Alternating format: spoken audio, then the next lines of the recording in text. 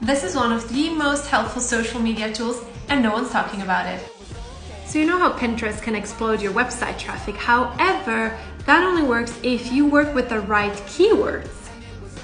In order to find the right keyword, go on Key Search Pinterest keyword tool, then enter your keyword here, press search, and now it shows you relevant keywords that will match your own keyword. It gives you the search volume, and if you sign up for the free trial, you can also check the competition. I would highly suggest to go with a keyword that is medium to low competition.